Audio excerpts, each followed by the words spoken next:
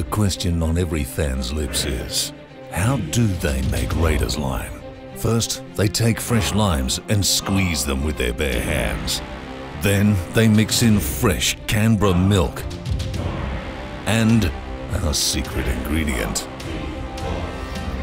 And the taste?